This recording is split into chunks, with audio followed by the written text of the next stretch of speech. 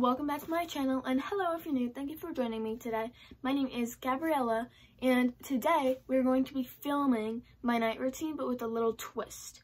So today there's going to be this like fire truck show like the people from the fire station are going to decorate like the fire trucks with like christmas decorations and stuff. So that's going to be outside and i'm gonna go with like my friends and my family and stuff.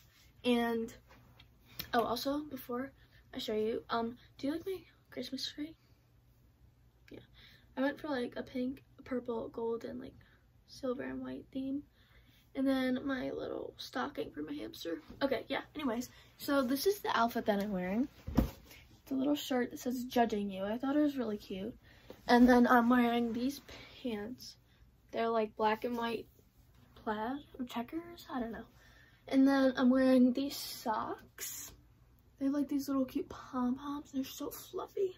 I'm going to wear those with my white Air Forces. And yeah, that's it. And I'll probably wear a Santa hat. But yeah.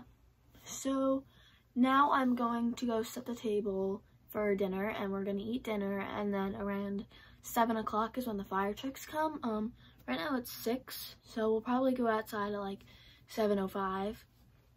And yeah. I'm really excited and I thought I'd just bring you guys along. So yeah, I'll see you later.